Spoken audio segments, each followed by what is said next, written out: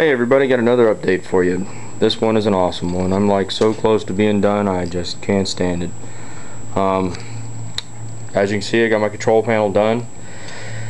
Everything's in there. I got all the wiring done on the bottom side. I just don't have the I-PAC yet. I'm going to be ordering that Friday along with my uh, arcade VGA card from Ultimarc.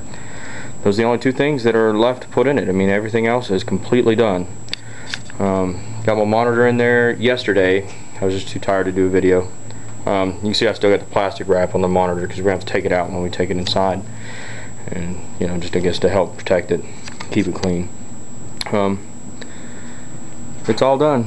I mean, literally all done. You know, the wiring part is, is a breeze. Yep. Um, oh, I do have one more thing left to get. I need a Z bracket for right here.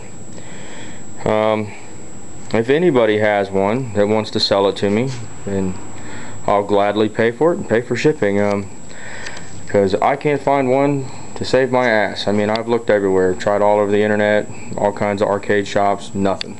No luck at all finding a Z bracket. So, and uh, my cabinet's pretty well spec on spec as a Midway arcade cabinet, so it's 25 inches across. So, any help would be appreciated.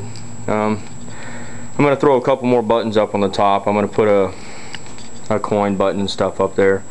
But uh, yeah, leave some comments. Tell me what you guys think. I mean, I can't wait to play. I don't know how many times I've walked over and just played with the damn buttons and joysticks because I'm just excited. Um,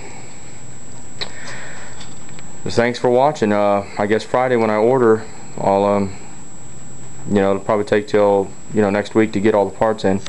When I get them in, I'll videotape the first boot up, let you guys see uh, how good or bad it goes.